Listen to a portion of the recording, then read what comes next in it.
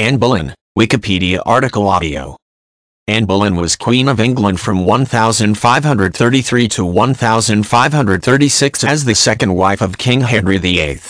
Their marriage, and her execution by beheading, made her a key figure in the political and religious upheaval that was the start of the English Reformation. Anne was the daughter of Thomas Boleyn, 1st Earl of Wiltshire, and his wife, Lady Elizabeth Howard. Anne was educated in the Netherlands and France, largely as a maid of honor to Queen Claude of France.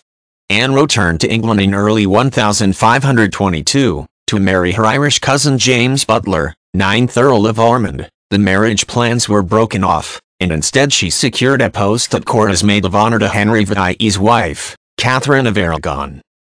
Early in 1523 Anne was secretly betrothed to Henry Percy, son of Henry Percy, 5th Earl of Northumberland, but the betrothal was broken off when the Earl refused to support their engagement. Cardinal Wolsey refused the match in January 1524 and Anne was sent back home to Hever Castle. In February or March 1526, Henry VIII began his pursuit of Anne. She resisted his attempts to seduce her, refusing to become his mistress, which her sister Mary had been. It soon became the one absorbing object of Henry's desires to annul his marriage to Catherine so he would be free to marry Anne. When it became clear that Pope Clement VI would not annul the marriage, the breaking of the Catholic Church's power in England began. In 1532, Henry granted Anne the Marquisate of Pembroke. Henry and Anne formally married on January 25, 1533, after a secret wedding on November 14, 1532. On May 23, 1533, newly appointed Archbishop of Canterbury Thomas Cranmer declared Henry and Catherine's marriage null and void. Five days later, he declared Henry and Anne's marriage valid. Shortly afterwards, the Pope decreed sentences of excommunication against Henry and Cranmer. As a result of this marriage and these excommunications, the first break between the Church of England and Rome took place and the Church of England was brought under the king's control. Anne was crowned Queen of England on June 1, 1533. On September 7, she gave birth to the future Queen Elizabeth I. Henry was disappointed to have a daughter rather than a son but hoped a son would follow and professed to love Elizabeth. Anne subsequently had three miscarriages, and by March 1536, Henry was courting Jane Seymour. In order to marry Seymour, Henry had to find reasons to end the marriage to Anne. Henry VIII had Anne investigated for high treason in April 1536. On May 2 she was arrested and sent to the Tower of London, where she was tried before a jury of peers, which included Henry Percy, her former betrothed, and her own uncle Thomas Howard, 3rd Duke of Norfolk, and found guilty on May 15. She was beheaded four days later. Modern historians view the charges against her, which included adultery, incest and plotting to kill the king, as unconvincing. Some say that Anne was accused of witchcraft but the indictments make no mention of this charge. After the coronation of her daughter, Elizabeth, Anne was venerated as a martyr and heroine of the English Reformation, particularly through the works of John Foxe. Over the centuries, she has inspired, or been mentioned, in many artistic and cultural works and thereby retained her hold on the popular imagination. She has been called the most influential and important queen consort England has ever had, as she provided the occasion for Henry VIII to annul his marriage to Catherine of Aragon and declare the English Church's independence from Rome. Anne was the daughter of Thomas Boleyn, later Earl of Wiltshire and Earl of Ormond, and his wife, Lady Elizabeth Howard, daughter of Thomas Howard, 2nd Duke of Norfolk. Thomas Boleyn was a well-respected diplomat with a gift for languages, he was also a favorite of Henry VI of England, who sent him on many diplomatic missions abroad. Anne and her siblings grew up at Hever Castle in Kent. However, the siblings were born in Norfolk at the Boleyn home at Blickling. A lack of parish records from the period has made it impossible to establish Anne's date of birth. Contemporary evidence is contradictory, with several dates having been put forward by various historians. An Italian, writing in 1600, suggested that she had been born in 1499, while Sir Thomas More's son-in-law, William Roper, indicated a much later date of 1512. Her birth is widely accepted by scholars and historians as being most likely sometime between 1501 and 1507. As with Anne herself, it is uncertain when her two siblings were born, but it seems clear that her sister Mary was older than Anne. Mary's children clearly believed their mother had been the elder sister. Mary's grandson claimed the Ormond title in 1596 on the basis she was the elder daughter, which Elizabeth I accepted. Their brother George was born around 1504. The academic debate about Anne's birth date focuses on two key dates, 1501 and 1507. Eric Ives, a British historian and legal expert, advocates the 1501 date, while Retha Warnicke, an American scholar who has also written a biography of Anne, prefers 1507. The key piece of surviving written evidence is a letter Anne wrote sometime in 1514. She wrote it in French to her father, who was still living in England while Anne was completing her education at Mechelen, in the Burgundian Netherlands, now Belgium. Ives argues that the style of the letter and its mature handwriting prove that Anne must have been about 13 at the time of its composition, while Warnicke argues that the numerous misspellings and grammar errors show that the letter was written by a child. In Ives' view, this would also be around the minimum age that a girl could be a maid of honor, as Anne was to the regent, Margaret of Austria. This is supported by claims of a chronicler from the late 16th century, who wrote that Anne was 20 when she returned from France. These findings are contested by Warnicke in several books and articles, and the evidence does not conclusively support either date. There are two independent contemporary sources for the 1507 date. Author Gareth Russell wrote a summary of the evidence and relates that Jane Dormer, Duchess of Feria, wrote her memoirs shortly before her death in 1612. The former lady-in-waiting and confidant to Queen Mary I wrote of Anne Boleyn, she was convicted and condemned and was not yet 29 years of age. William Camden wrote a history of the reign of Queen Elizabeth I and was granted access to the private papers of Lord Burleigh and to the state archives. In that history, in the chapter dealing with Elizabeth's early life, he records in the margin that Anne was born in Mdvii. Anne's great-great-great-grandparents included a Lord Mayor of London, a Duke, an Earl, two aristocratic ladies, and a knight. One of them, Geoffrey Bullen, had been a mercer and wool merchant before becoming Lord Mayor. The Bullen family originally came from Blickling in Norfolk, 15 miles north of Norwich. At the time of Anne's birth, the Bullen family was considered one of the most respected in the English aristocracy. Among her relatives, she numbered the Howards, one of the preeminent families in the land, and one of her ancestors included King Edward I of England.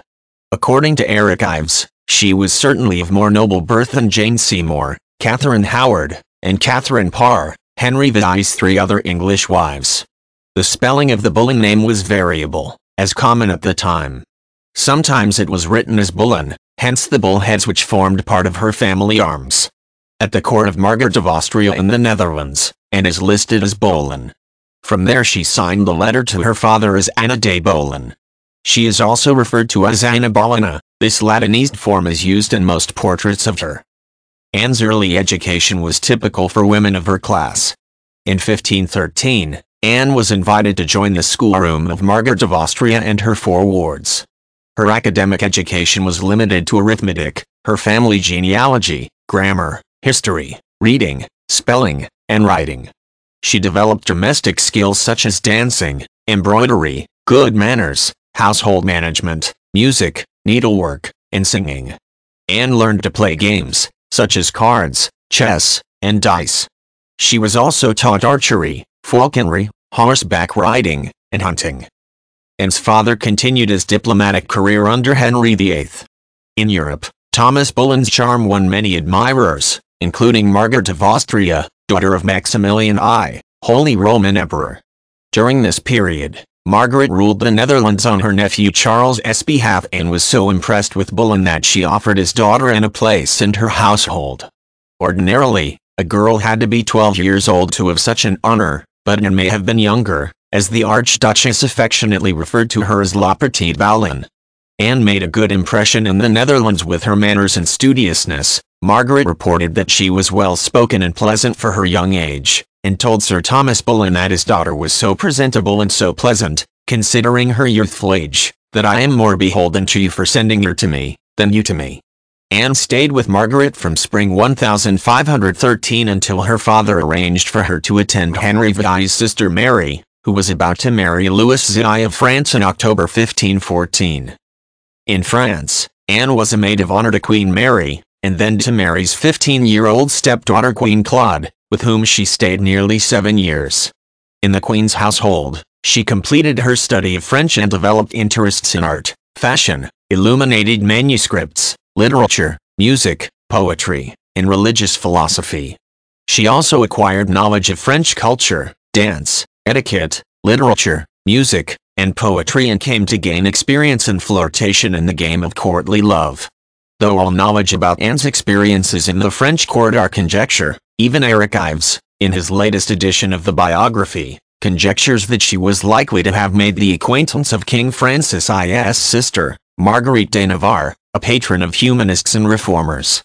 Marguerite de Navarre was also an author in her own right, and her works include elements of Christian mysticism and reform that verged on heresy, though she was protected by her status as the French king's beloved sister. She or her circle may have encouraged Anne's interest in reform, as well as in poetry and literature. Anne's education in France proved itself in later years, inspiring many new trends among the ladies and courtiers of England, and it may have been instrumental in pressing their king toward the culture-shattering contretemps with the papacy itself. Eric Ives's latest version of his biography hypothesizes that Anne may have had evangelistic conviction and a strong spiritual inner life. William Forrest, author of a contemporary poem about Catherine of Aragon, complimented Anne's passing excellent skill as a dancer. Here, he wrote, was fresh young damsel, that could trip and go. Anne had been of average height and she had a slender build with long straight and thick black or dark brown hair, dark brown eyes, a considerably strong nose, a definite wide mouth with slim lips, and an olive complexion. She was considered to be brilliant, charming, driven, elegant, forthright, and graceful with a keen wit and a lively, opinionated, and passionate personality. Anne was depicted to be sweet and cheerful in her youth and she enjoyed cards and dice games, drinking wine, eating French cuisine, flirting, gambling, gossiping, and hearing a good joke. She was fond of archery, falconry, hunting, and the occasional game of bowls. Yet Anne also had a sharp tongue and a terrible temper. Anne exerted a powerful charm on those who met her, though opinions differed on her attractiveness. The Venetian diarist Marino Sanudo, who saw Anne when Henry VIII met Francis I at Calais in October 1532, described her as not one of the handsomest women in the world. She is of middling stature, swarthy complexion, long neck, wide mouth, bosom not much raised eyes, which are black and beautiful. Simon Grynet wrote to Martin Bucer in September 1531 that Anne was young, good-looking, of a rather dark complexion. Lancelot de Carle called her beautiful with an elegant figure, and a Venetian in Paris in 1528 also reported that she was said to be beautiful. The most influential description of Anne, but also the least reliable, was written by the Catholic propagandist and polemicist Nicholas Sanders in 1586, half a century after Anne's death. Anne Boleyn was rather tall of stature, with black hair, and an oval face of a sallow complexion, as if troubled with jaundice. It is said she had a projecting tooth under the upper lip, and on her right hand six fingers. There was a large one under her chin, and therefore to hide its ugliness she wore a high dress covering her throat. She was handsome to look at, with a pretty mouth. Sanders held Anne responsible for Henry VII's rejection of the Catholic Church, in writing 50 years after her death, was keen to demonize her. Sanders's description contributed to what biographer Eric Ives calls the monster legend of Anne Boleyn. Though his details were fictitious, they have formed the basis for references to Anne's appearance even in some modern textbooks. Anne's experience in France made her a devout Christian in the new tradition of Renaissance humanism. Anne knew little Latin and, trained at a French court, she was influenced by an evangelical variety of French humanism which led her to champion the vernacular Bible. While she would later hold the reformist position that the papacy was a corrupting influence on Christianity, her conservative tendencies could be seen in her devotion to the Virgin Mary. Anne's European education ended in 1521, when her father summoned her back to England. She sailed from Calais in January 1522. Anne was recalled to marry her Irish cousin, James Butler, a young man who was several years older than she and who was living at the English court, in an attempt to settle a dispute over the title and estates of the Earldom of Ormond. The seventh Earl of Ormond died in 1515, leaving his daughters, Margaret Boleyn and Anne St. Leger, as co-heiresses. In Ireland, the great-great-grandson of the third Earl, Sir Piers Butler, contested the will and claimed the earldom himself. He was already in possession of Kilkenny Castle, the ancestral seat of the earls. Sir Thomas Bullen, being the son of the eldest daughter, felt the title belonged to him and protested to his brother-in-law, the Duke of Norfolk, who spoke to Henry about the matter. Henry, fearful the dispute could be the spark to ignite civil war in Ireland, sought to resolve the matter by arranging an alliance between Piers's son, James, and Anne Boleyn. She would bring her Ormond inheritance as dowry and thus end the dispute. The plan ended in failure, perhaps because Sir Thomas hoped for a grander marriage for his daughter or because he himself coveted the titles. Whatever the reason, the marriage negotiations came to a complete halt. James Butler later married Lady Joan Fitzgerald, daughter and heiress of James Fitzgerald, 10th Earl of Desmond and Amy O'Brien. Mary Bullen, Anne Bullen's older sister, had earlier been recalled from France in late 1519, ostensibly for her affairs with the French king and his courtiers. She married William Carey, a minor noble, in February 1520, at Greenwich, with Henry VIII in attendance. Soon after, Mary Boleyn became the English king's mistress. Historians dispute Henry VIII's paternity of one or both of Mary Boleyn's children born during this marriage. Henry VIII, The King in His Court, by Alison Weir, questions the paternity of Henry Carey, DRGW. Bernard and Joanna Denny argue that Henry VIII was their father. Henry did not acknowledge either child, as he did his son Henry Fitzroy his illegitimate son by Elizabeth Blount, Lady Talboys. Anne made her debut at the Chateau Vert pageant in honor of the imperial ambassadors on March 4, 1522, playing Perseverance. There she took part in an elaborate dance accompanying Henry's younger sister Mary, several other ladies of the court, and her sister. All wore gowns of white satin embroidered with gold thread. She quickly established herself as one of the most stylish and accomplished women at the court, and soon a number of young men were competing for her.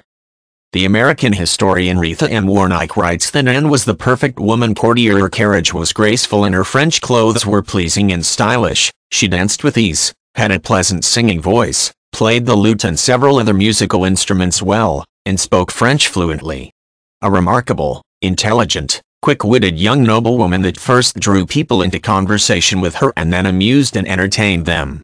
In short, her energy and vitality made her the center of attention in any social gathering. Henry VII's biographer J. J. Scarisbrick adds that Anne reveled in the attention she received from her admirers. During this time, Anne was courted by Henry Percy, son of the Earl of Northumberland, and entered into a secret betrothal with the young man. Thomas Wolsey's gentleman usher, George Cavendish, maintained the two had not been lovers. If Cavendish is to be believed, their relationship was celibate. The romance was broken off when Percy's father refused to support their engagement. Cardinal Wolsey refused the match for several conjectured reasons.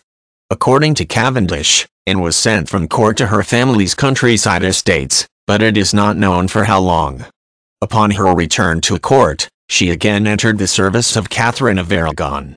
Percy was married to Lady Mary Talbot, to whom he had been betrothed since adolescence. Prior to her marriage to Henry VIII, Anne had befriended Sir Thomas Wyatt, who was one of the greatest poets of the Tudor reign. In 1520, Wyatt married Elizabeth Cobham, who by many accounts, was not a wife of his choosing. Thus, in 1525, Wyatt charged his wife with adultery and separated from her. Coincidentally, historians believe that it was also the year where his interest in Anne intensified. In 1532, Wyatt accompanied the royal couple to Calais in France. In 1526, Henry VIII became enamored with Anne and began his pursuit. Anne was a skillful player at the game of courtly love, which was often played in the antechambers.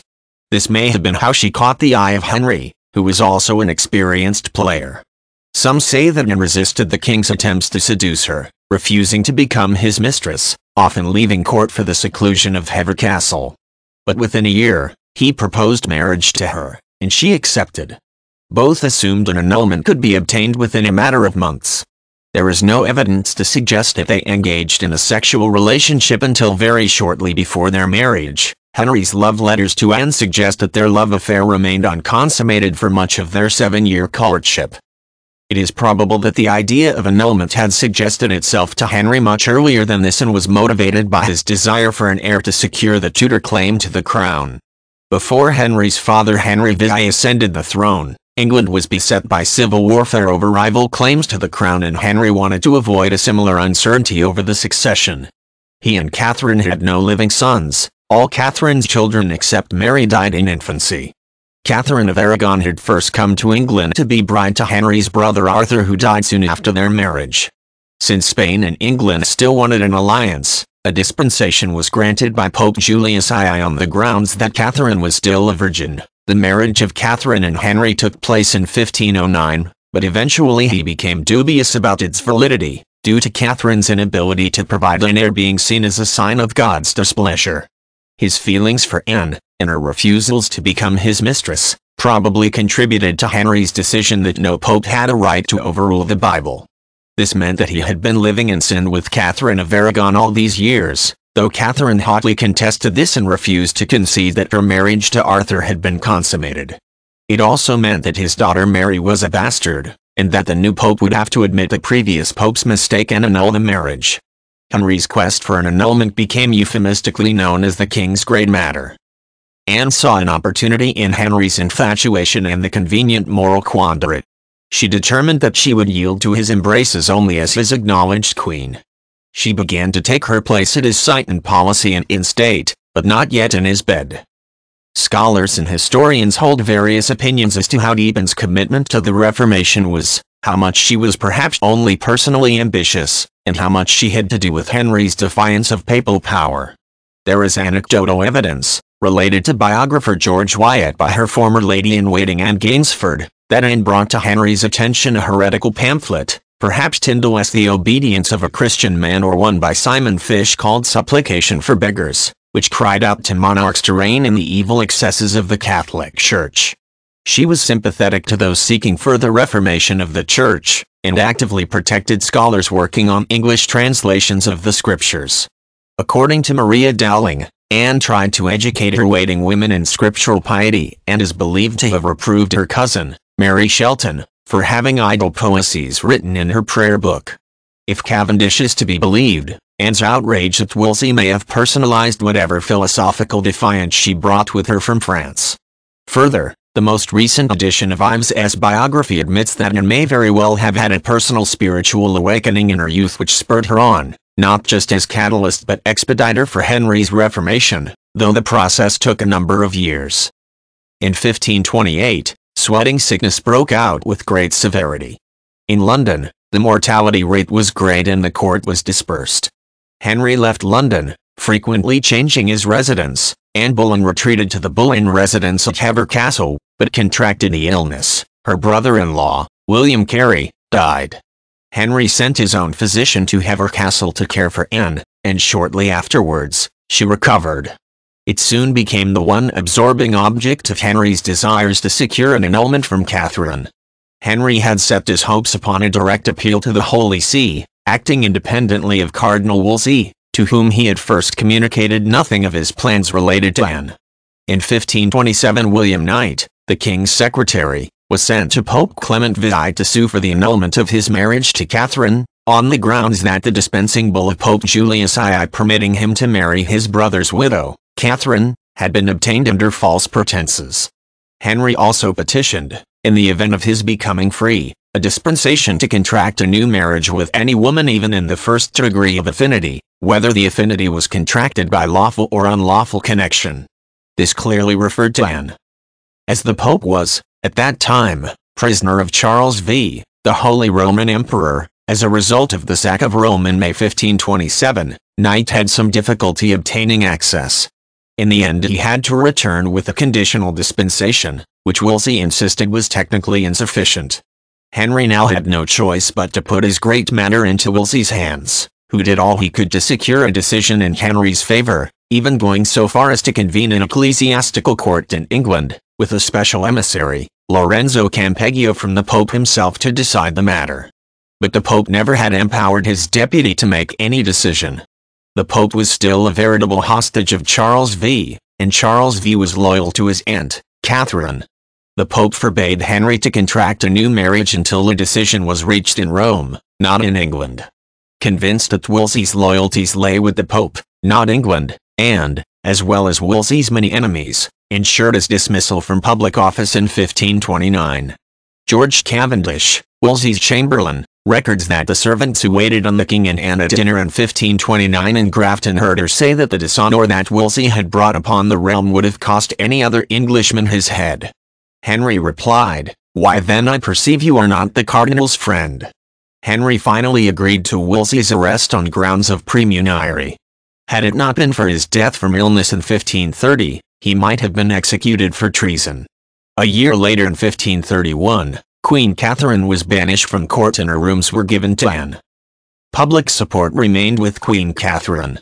One evening in the autumn of 1531, Anne was dining at a manor house on the River Thames and was almost seized by a crowd of angry women.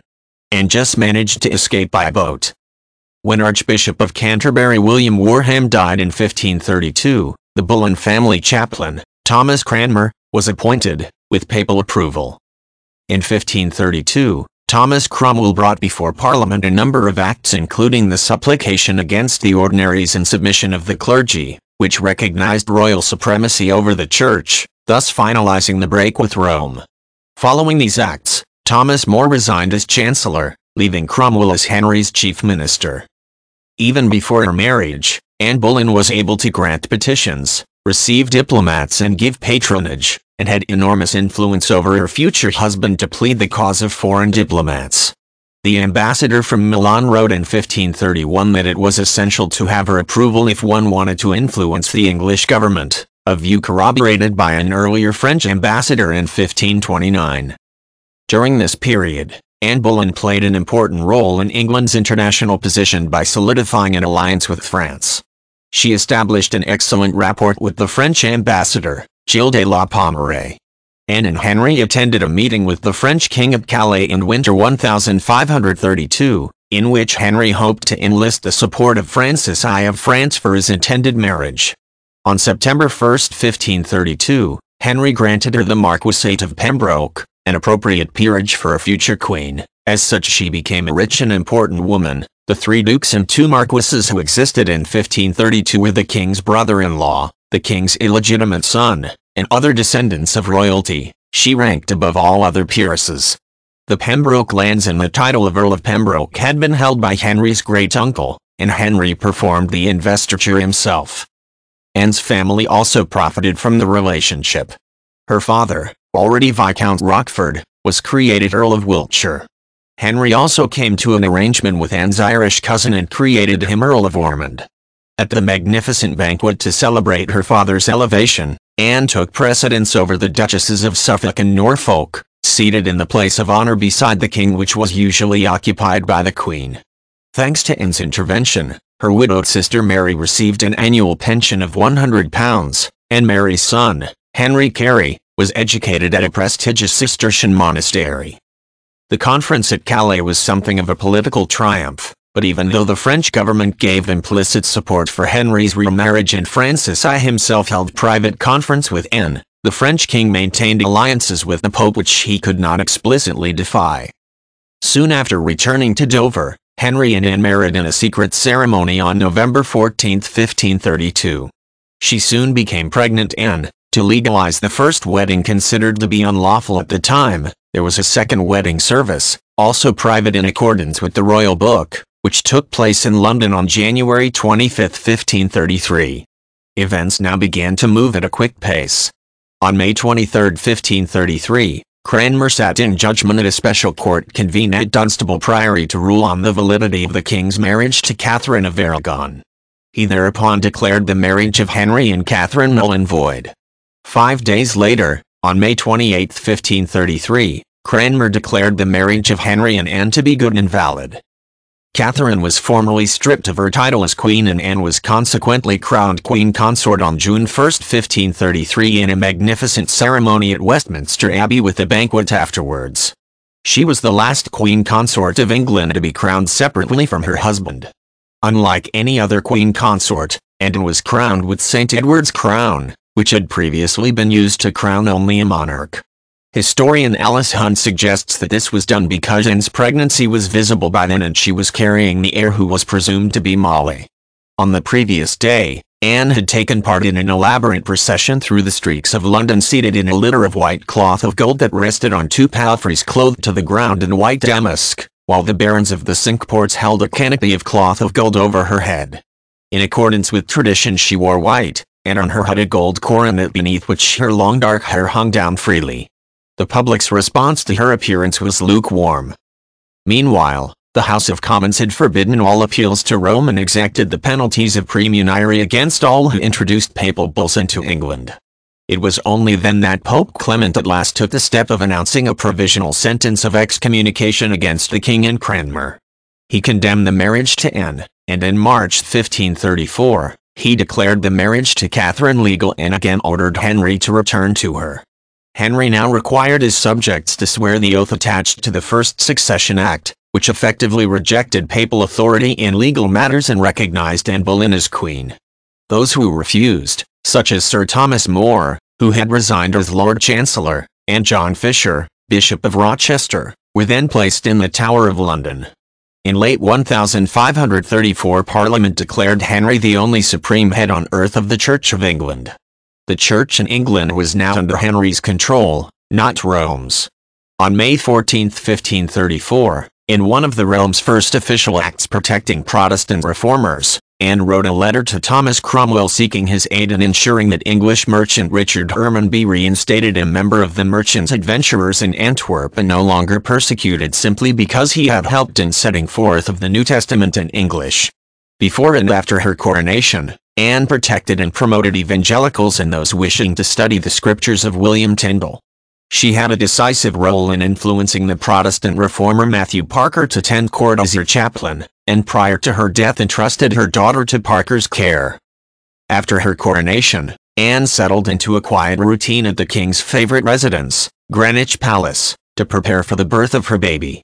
The child was born slightly prematurely on September 7, 1533. Between 3 and 4 in the afternoon, Anne gave birth to a girl, who was christened Elizabeth, probably in honor of either or both Anne's mother Elizabeth Howard and Henry's mother, Elizabeth of York. But the birth of a girl was a heavy blow to her parents, since they had confidently expected a boy.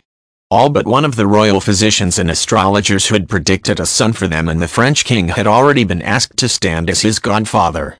Now the prepared letters announcing the birth of a prince had an S hastily added to them to read princes and the traditional jousting tournament for the birth of an heir was cancelled.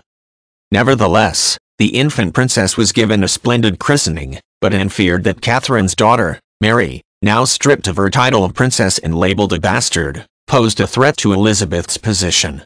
Henry soothed his wife's fears by separating Mary from her many servants and sending her to Hatfield House, where Princess Elizabeth would be living with her own sizable staff of servants, and where the country air was thought better for the baby's health.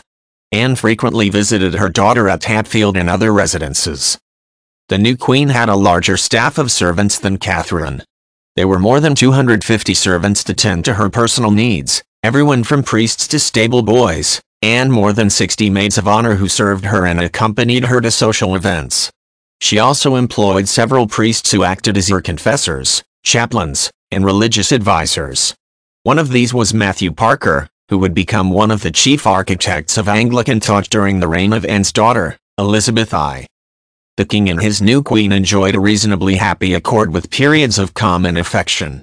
Anne Boleyn's sharp intelligence, political acumen and forward manners, although desirable in a mistress, were, at the time, unacceptable in a wife. She was once reported to have spoken to her uncle in words that shouldn't be used to a dog. After a stillbirth or miscarriage as early as Christmas 1534, Henry was discussing with Cranmer and Cromwell the possibility of divorcing her without having to return to Catherine. Nothing came of the issue as the royal couple reconciled and spent summer 1535 on progress. By October, she was again pregnant. Anne Boleyn presided over a magnificent court. She spent lavish amounts of money on gowns, jewels, headdresses, ostrich feather fans, riding equipment, furniture and upholstery, maintaining the ostentatious display required by her status. Numerous palaces were renovated to suit her and Henry's extravagant tastes. Her motto was the most happy, and she had chosen a white falcon as her personal device. Anne was blamed for the tyranny of her husband's government and was referred to by some of her subjects as the king's whore or naughty pig. Public opinion turned further against her following her failure to produce a son. It sank even lower after the executions of her enemies Sir Thomas More and Bishop John Fisher. On January 8, 1536, news of Catherine of Aragon's death reached the king and Anne, who were overjoyed. The following day, Henry and Anne wore yellow, the symbol of joy and celebration in England, from head to toe, and celebrated Catherine's death with festivities. In Spain, the home country of Catherine of Aragon, yellow was the color of mourning, in addition to black. For this reason, the wearing of yellow by Henry and Anne may have been a symbol of mourning. With Mary's mother dead, Anne attempted to make peace with her. Mary rebuffed Anne's overtures, perhaps because of rumors circulating that Catherine had been poisoned by Anne or Henry. These began after the discovery during her embalming that Catherine's heart was blackened. Modern medical experts are in agreement that this was not the result of poisoning, but of cancer of the heart, an extremely rare condition which was not understood at the time. The Queen, pregnant again, was aware of the dangers if she failed to give birth to a son. With Catherine dead, Henry would be free to marry without any taint of illegality. At this time Henry began paying court to Jane Seymour, he gave her a locket with a miniature portrait of himself inside and Jane, in the presence of Anne, began opening and shutting it. Anne responded by ripping off the locket with such force her fingers bled. Later that month, the king was unhorsed in a tournament and knocked unconscious for two hours, a worrying incident that Anne believed led to her miscarriage five days later. Another possible cause of the miscarriage was an incident in which, upon entering a room, Anne saw Jane Seymour sitting on Henry's lap and flew into a rage. Whatever the cause, on the day that Catherine of Aragon was buried at Peterborough Abbey, and miscarried a baby which, according to the imperial ambassador Eustace Chapuis, she had borne for about three and a half months, and which seemed to be a Malay child. Chapuis commented she has miscarried of her savior. In Chapuis' opinion, this loss was the beginning of the end of the royal marriage. Given Henry's desperate desire for a son, the sequence of Anne's pregnancies has attracted much interest. Author Mike Ashley speculated that Anne had two stillborn children after Elizabeth's birth and before the Malay child she miscarried in 1536. Most sources attest only to the birth of Elizabeth in September 1533, a possible miscarriage in the summer of 1534, and the miscarriage of a Malay child, of almost four months gestation, in January 1536. As Anne recovered from her miscarriage, Henry declared that he had been seduced into the marriage by means of sortilege, a French term indicating either deception or spells. His new mistress, Jane Seymour, was quickly moved into royal quarters. This was followed by Anne's brother George being refused a prestigious court honor, the Order of the Garter, given instead to Sir Nicholas Carew. Anne's biographer Eric Ives believed that her fall and execution were primarily engineered by her former ally Thomas Cromwell. The conversations between Chapuis and Cromwell thereafter indicate Cromwell as the instigator of the plot to remove Anne. Evidence of this is seen in the Spanish Chronicle and through letters written from Chapuis to Charles V. Anne argued with Cromwell over the redistribution of church revenues and over foreign policy. She advocated that revenues be distributed to charitable and educational institutions, and she favored a French alliance. Cromwell insisted on filling the king's depleted coffers, while taking a cut for himself, and preferred an imperial alliance. For these reasons, Ives suggests, Anne Boleyn had become a major threat to Thomas Cromwell. Cromwell's biographer John Schofield, on the other hand, contends that no power struggle existed between Anne and Cromwell and that not a trace can be found of a Cromwellian conspiracy against Anne. Cromwell became involved in the royal marital drama only when Henry ordered him onto the case. Cromwell did not manufacture the accusations of adultery, though he and other officials used them to bolster Henry's case against Anne. Historian Retha Warnicke questions whether Cromwell could have or wished to manipulate the king in such a matter. Such a bold attempt by Cromwell, given the limited evidence, could have risked his office, even his life. Henry himself issued the crucial instructions, his officials, including Cromwell, carried them out. The result, historians agree, was by more modern standards a legal travesty. However modern lawyers have concluded that the rules of the time were not bent in order to assure Anne Boleyn's conviction. There was no need to tamper with rules that guaranteed the desired result since law at the time, like armies, was an engine of state, not a mechanism for justice. Towards the end of April a Flemish musician in Anne's service named Mark Smeaton was arrested. He initially denied being the Queen's lover but later confessed, perhaps tortured or promised freedom.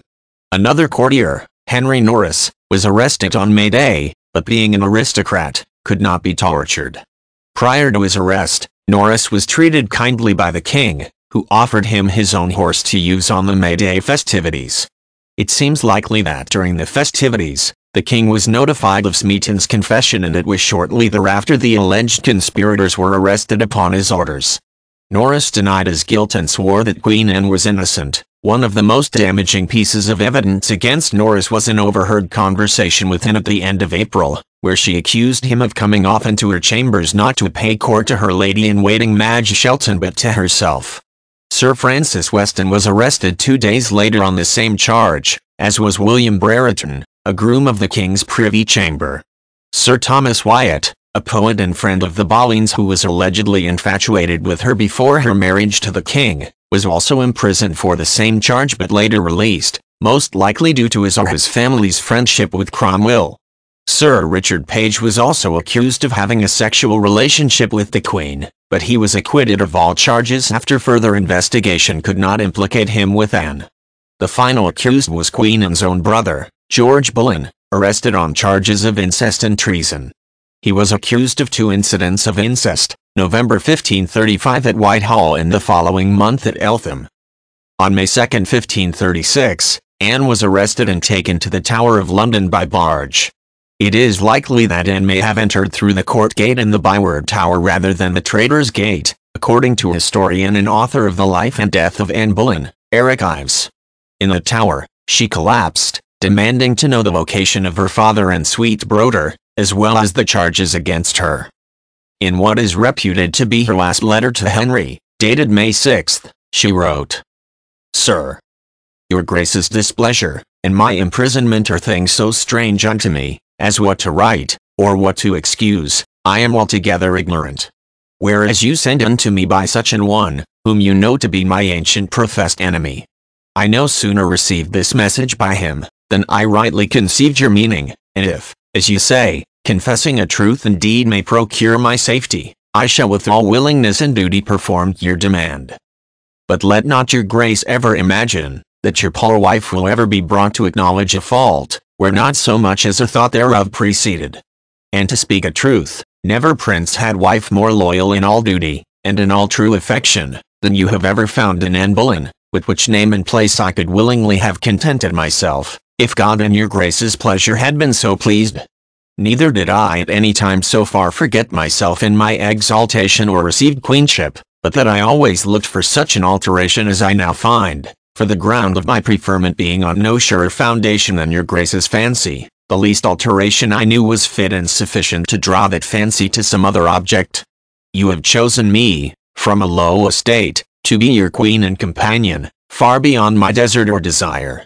If then you found me worthy of such honor, good your grace let not any light fancy, or bad counsel of mine enemies, withdraw your princely favor from me, neither let that stain, that unworthy stain, of a disloyal heart toward your good grace, ever cast so foul a blot on your most dutiful wife, and the infant princess your daughter.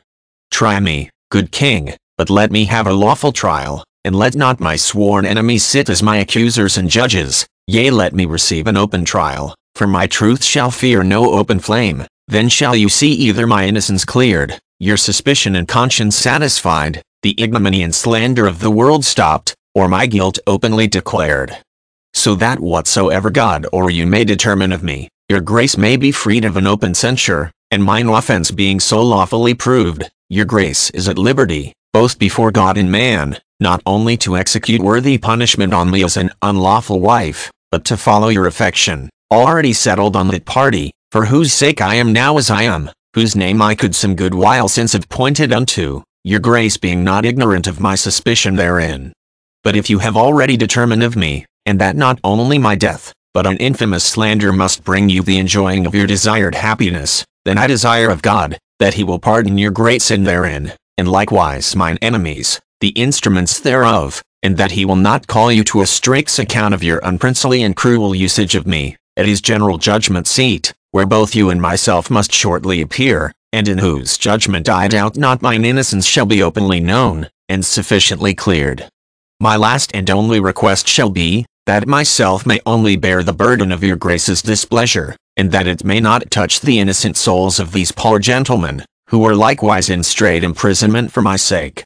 If ever I found favor in your sight, if ever the name of Anne Boleyn hath been pleasing in your ears, then let me obtain this request, and I will so leave to trouble your grace any further, with mine earnest prayers to the Trinity to have your grace in his good keeping, and to direct you in all your actions.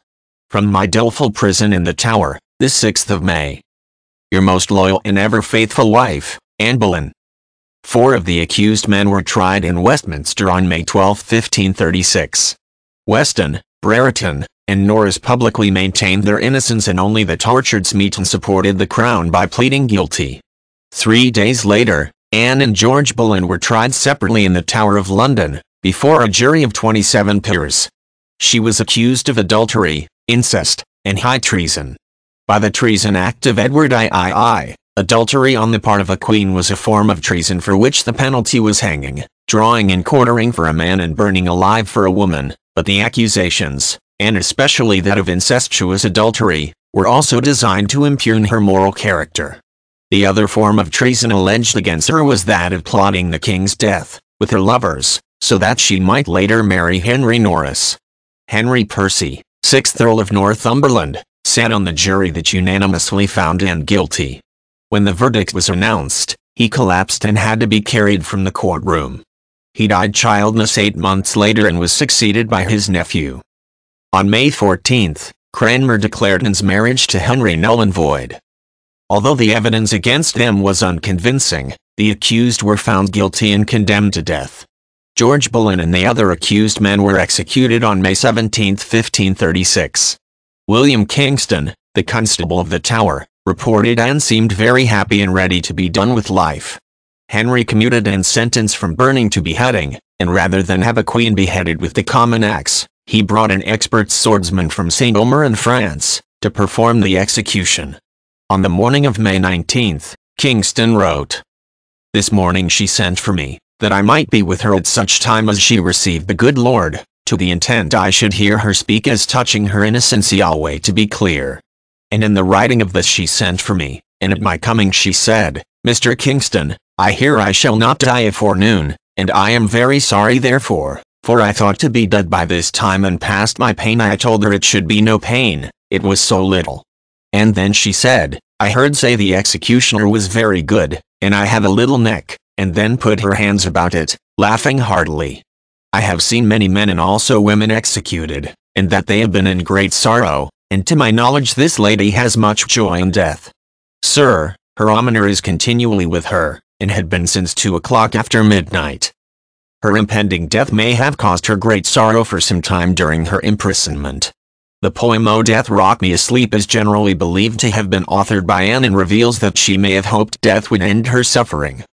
Shortly before dawn, she called Kingston to hear Mass with her, and swore in his presence, on the eternal salvation of her soul, upon the holy sacraments, that she had never been unfaithful to the king.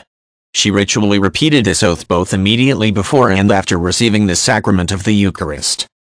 On the morning of Friday, May 19th, Anne Boleyn was executed within the Tower precincts, not upon the site of the execution memorial, but rather, according to historian Eric Ives, on a scaffold erected on the north side of the White Tower, in front of what is now the Waterloo Barracks. She wore a red petticoat under a loose, dark grey gown of damask trimmed in fur and a mantle of ermine. Accompanied by two female attendants, and made her final walk from the Queen's house to the scaffold and she showed a devilish spirit and looked as gay as if she was not going to die. Anne climbed the scaffold and made a short speech to the crowd. Good Christian people, I am come hither to die, for according to the law, and by the law I am judged to die, and therefore I will speak nothing against it. I am come hither to accuse no man, nor to speak anything of that, whereof I am accused and condemned to die, but I pray God save the king and send him long to reign over you, for a gentler nor a more merciful prince was there never, and to me he was ever a good, a gentle and sovereign lord. And if any person will meddle of my cause, I require them to judge the best. And thus I take my leave of the world and of you all, and I heartily desire you all to pray for me. O Lord have mercy on me, to God I commend my soul. This version of her speech is found in Foxe's Acts and Monuments and an almost identical version in Ives. In a 1,318-line poem, written in French, two weeks after Anne's death, Lancelot de Carle provides a moving account of her last words and their effect on the crowd. She gracefully addressed the people from the scaffold with a voice somewhat overcome by weakness, but which gathered strength as she went on. She begged her hearers to forgive her if she had not used them all with becoming gentleness, and asked for their prayers. It was needless, she said, to relate why she was there, but she prayed the judge of all the world to have compassion on those who had condemned her, and she begged them to pray for the king, in whom she had always found great kindness, fear of God, and love of his subjects. The spectators could not refrain from tears. Lancelot de Carle, a secretary to the French ambassador, Antoine de Castelnau, was in London in May 1536, and was an eyewitness to her trial and execution. The poem, Apister continently procis criminal fate grave l'encontre de l'Arroin and Bolent d'Angleterre, provides a detailed account of Anne's early life and the circumstances relating to her arrest, trial and execution. All the accounts are similar. It is thought that Anne avoided criticizing Henry to save Elizabeth and her family from further consequences. But even under such extreme pressure Anne did not confess guilt, and indeed subtly implied her innocence, in her appeal to those who might meddle of my cause. The ermine mantle was removed and Anne lifted off her headdress, tucking her hair under a coif. After a brief farewell to her weeping ladies and a request for prayers, she kneeled down and one of her ladies tied a blindfold over her eyes. She knelt upright, in the French style of executions, her final prayer consisted of her repeating continually, Yesu receive my soul, O Lord God have pity on my soul. The execution consisted of a single stroke. It was witnessed by Thomas Cromwell, Charles Brandon, 1st Duke of Suffolk, the King's illegitimate son, Henry Fitzroy, the Lord Mayor of London, as well as aldermen, sheriffs, and representatives of the various craft guilds. Most of the King's Council were also present. Cranmer, who was at Lambeth Palace, was reported to have broken down in tears after telling Alexander Ales, she who has been the Queen of England on earth will today become a queen in heaven. When the charges were first brought against Anne, Cranmer had expressed his astonishment to Henry in his belief that she should not be culpable. Still, Cranmer felt vulnerable because of his closeness to the Queen, and so on the night before the execution, he declared Henry's marriage to Anne to have been void, like Catherine's before her. He made no serious attempt to save Anne's life, although some sources record that he had prepared her for death by hearing her last private confession of sins, in which she had stated her innocence before God. On the day of her death, a Scottish friend found Cranmer weeping uncontrollably in his London gardens, saying that he was sure that Anne had now gone to heaven. She was then buried in an unmarked grave in the chapel of St. Peter ad Vincula, her skeleton was identified during renovations of the chapel in 1876, in the reign of Queen Victoria, and Anne's grave is now identified on the marble floor. Nicholas Sander, a Catholic recusant born c. 1530, was committed to deposing Elizabeth I and re-establishing Catholicism in England. In his De Origine ac Progressu Schismatis Anglicani, published in 1585, he was the first to write that Anne had six fingers on her right hand. Since physical deformities were generally interpreted as a sign of evil, it is unlikely that Anne Boleyn would have gained Henry's romantic attention had she had any. Upon exhumation in 1876, no abnormalities were discovered. Her frame was described as delicate, approximately 5 feet 3 inches, with finely formed, tapering fingers. Anne Boleyn was described by contemporaries as intelligent and gifted in musical arts and scholarly pursuits. She was also strong-willed and proud, and often quarreled with Henry. Biographer Eric Ives evaluates the apparent contradictions in Anne's persona. To us she appears inconsistent, religious yet aggressive, calculating yet emotional, with the light touch of the courtier yet the strong grip of the politician, But is this what she was, or merely what we strain to see through the opacity of the evidence? As for her inner life, short of a miraculous cache of new material, we shall never really know. Yet what does come to us across the centuries is the impression of a person who is strangely appealing to the early 21st century, a woman in her own right, taken on her own terms in a man's world, a woman who mobilized her education, her style and her presence to outweigh the disadvantages of her sex, of only moderate good looks, but taking a court and a king by storm. Perhaps, in the end, it is Thomas Cromwell's assessment that comes nearest, intelligence, spirit and courage. No contemporary portraits of Anne Boleyn survive. A bust of her was cast on a commemorative medallion in 1534, believed to have been struck to celebrate her second pregnancy. Following the coronation of her daughter as queen, Anne was venerated as a martyr and heroine of the English Reformation, particularly through the works of John Foxe, who argued that Anne had saved England from the evils of Roman Catholicism and that God had provided proof of her innocence and virtue by making sure her daughter Elizabeth I ascended the throne. An example of Anne's direct influence in the Reformed Church is what Alexander Ales described to Queen Elizabeth as the evangelical bishops whom your Holy Mother appointed from among those scholars who favored the pure doctrine.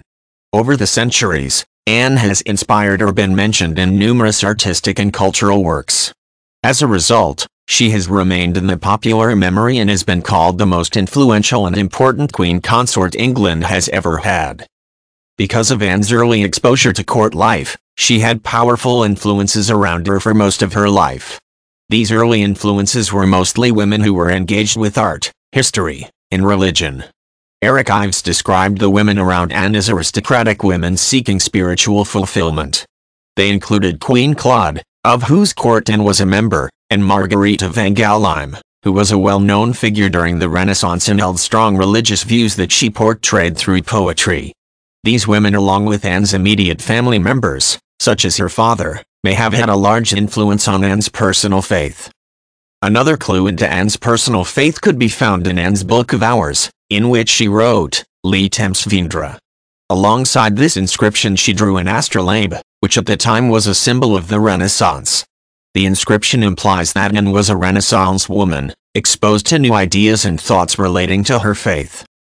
Anne Boleyn's last words before her beheading were a prayer for her salvation, her king, and her country. She said, Good Christian people.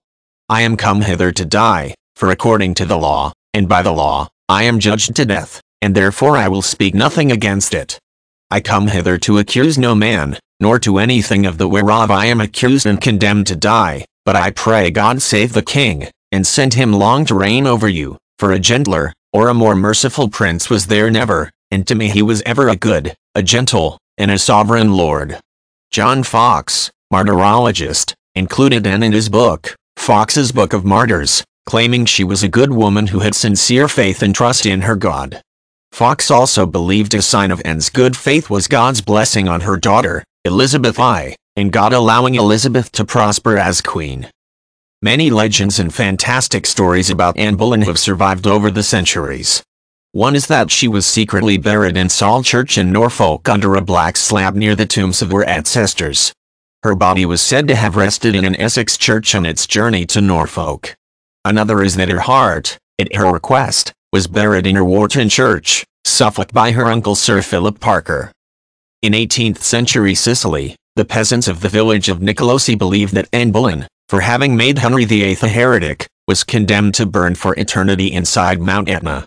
This legend was often told for the benefit of foreign travelers.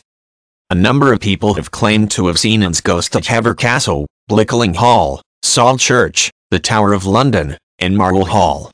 The most famous account of her reputed sighting has been described by paranormal researcher Hans Holzer. In 1864, Major General J.D. Dundas of the 60th Rifles Regiment was quartered in the Tower of London. As he was looking out the window of his quarters, he noticed the guard below in the courtyard, in front of the lodgings where Anne had been imprisoned, behaving strangely. He appeared to challenge something, which to the general looked like a whitish, female figure sliding towards the soldier. The guard charged through the form with his bayonet, then fainted.